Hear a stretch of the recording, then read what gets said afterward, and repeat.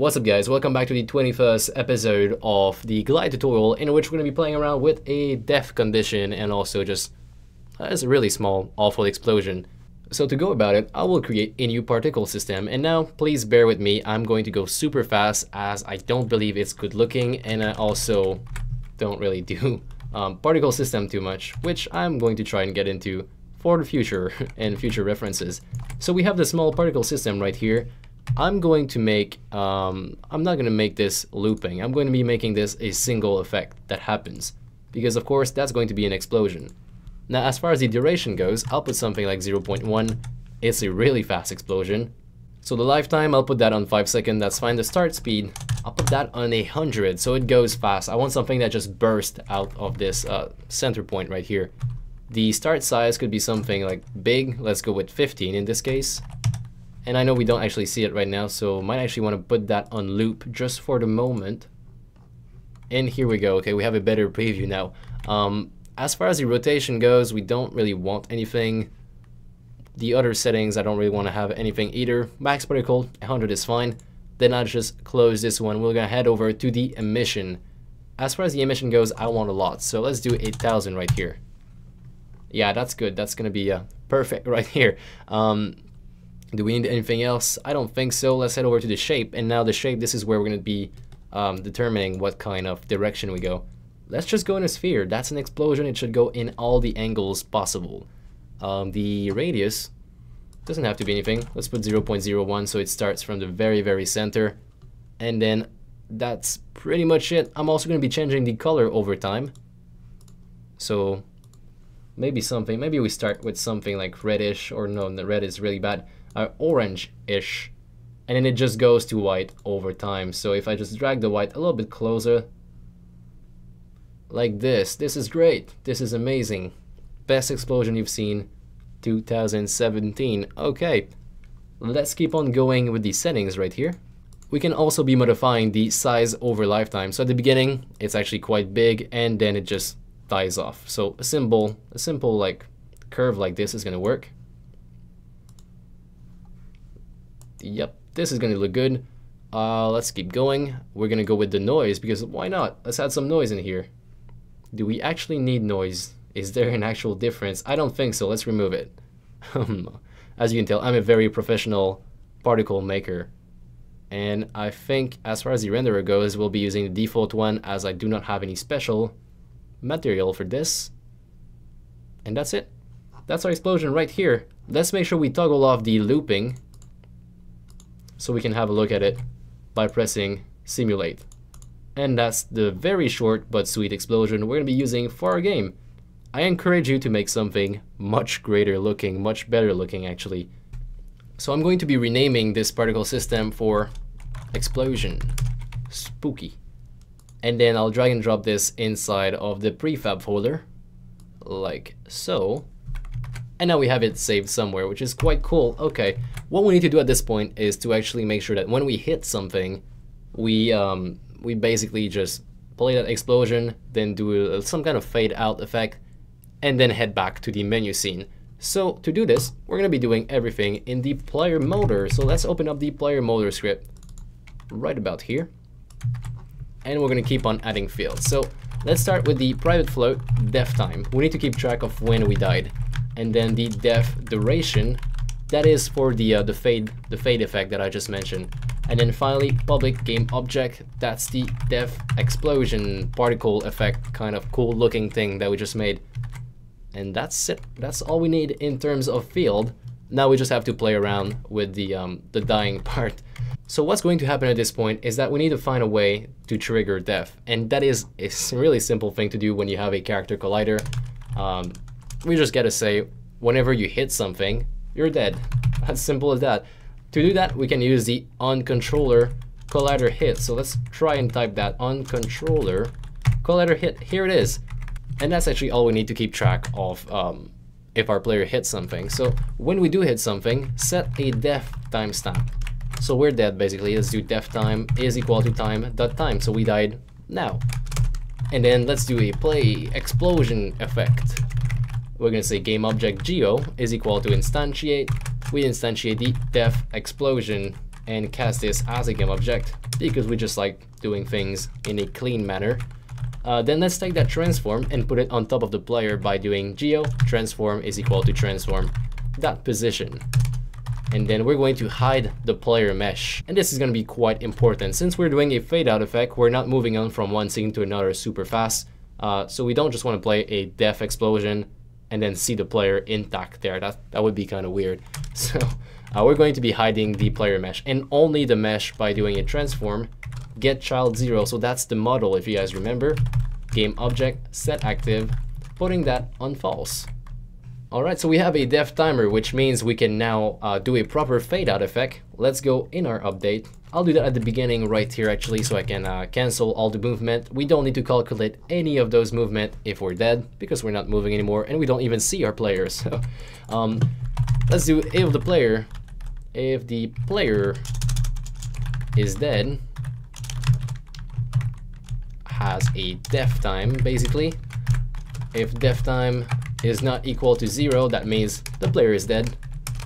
Then we wait for x seconds, wait x seconds. So if time.time minus the def time is bigger than the duration, so def duration, at this point we've waited long enough and uh, we can go ahead and just restart the level by doing a scene manager dot instance and this one has to um, we need to include using unity engine scene management that was my phone sorry about that uh, scene management right here instance and then we're going to be uh, sorry not instance. What am I doing? A load scene. And then we're going to be doing manager instance and current level. Do string. Actually no no no my bad. We're loading up the game scene. I'm being confused here.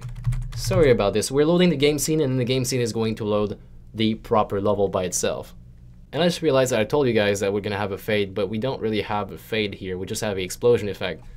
Um, Sorry about this. Let's hit return right here so we don't actually update the player when he's dead. And we're going to be giving this a try actually. We should have um, everything ready. But one thing actually, we need colliders. Right now in our scene, we do not have any colliders. And when I say that, I'm actually saying that we don't actually, we can't collide with anything and we can't die.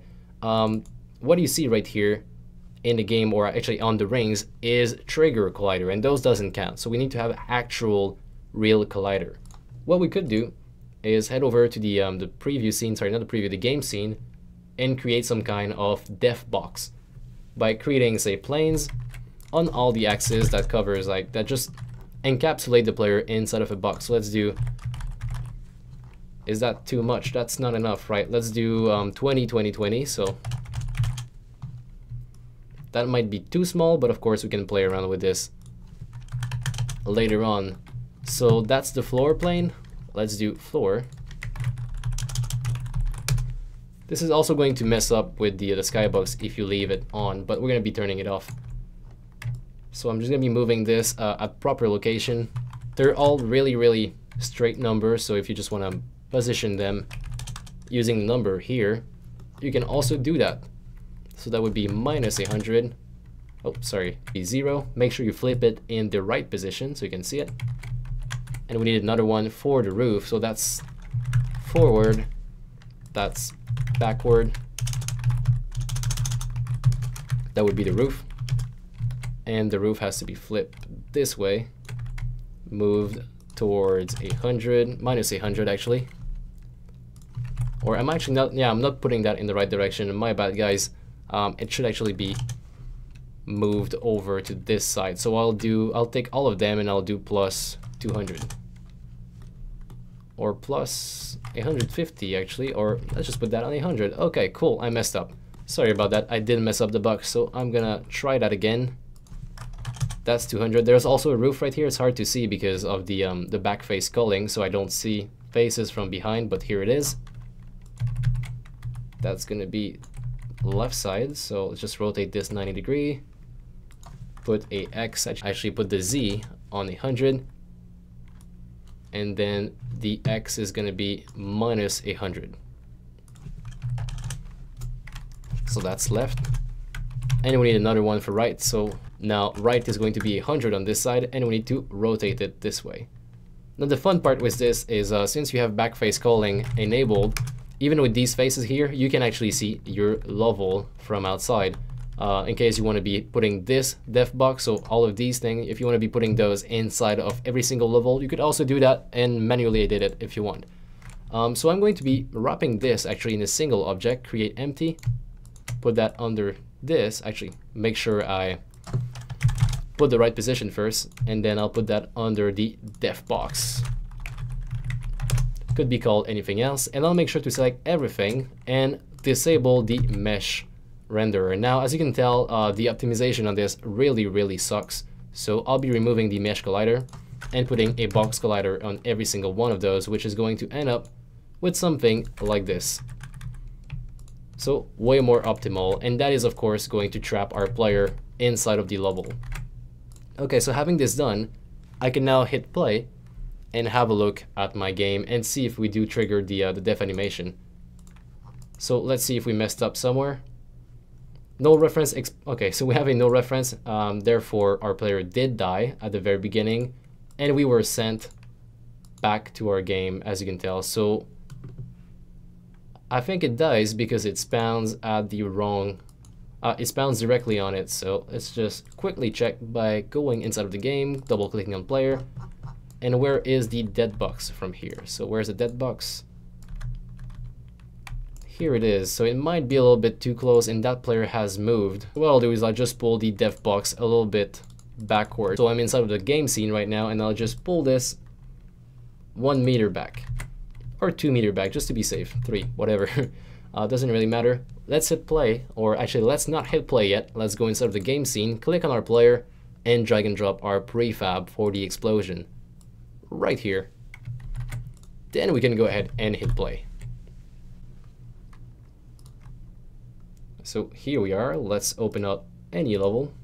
All of the levels should have a def box in it. And we exploded right away again, so that's definitely a bad thing, but as you can tell, there is animation. Uh, we can't fully see the explosion. The simple reason is because we're still in the fade. And uh, let's actually look at why it does that, because that bothers me quite a lot. And I'm quite stupid because what we're hitting is not the back of the box, it's actually the, uh, the floor of the box, which is on the same level as, well, our whole thing. So uh, we're to be taking this def box and just moving it down. So I'll just be putting it back on, say, minus 5 for the Z. But we're to be putting that at minus 100, I think would be good. So that makes more sense and the player can start right there and not on the floor. And this way we're to have the perfect thing going right now. I'm currently under the Unity remote, so I'm to be able to play and just run into something uh, any def wall, so I'll just do a U-turn really quickly. Let's try that. So quick U-turn, and we're gonna try and hit the def box over here. And boom, okay, so we just exploded. That is definitely great. That is the best thing we could have done. So right now we can actually lose, which is you know part of the game. Um, and that's where we're gonna be ending today's episode. Actually, I hope you like this. I hope you like the video, and also just I hope you enjoy your day because that's that would suck. I really hope you enjoy your day right now, else I would feel bad. Um, so please don't make me feel bad. I'm just trying to help. Thank you. Click on the video. Move on to the next one. The next one is going to be about creating some money, so some tokens. That's going to be amazing. I'm telling you, it's going to be great. It's going to be easy. Thank you so much. Goodbye.